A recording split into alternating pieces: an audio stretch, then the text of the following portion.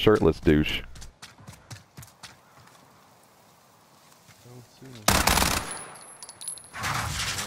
Yeah, he's up there. Oh, that's not gonna work. Holy shit, I gotta record that.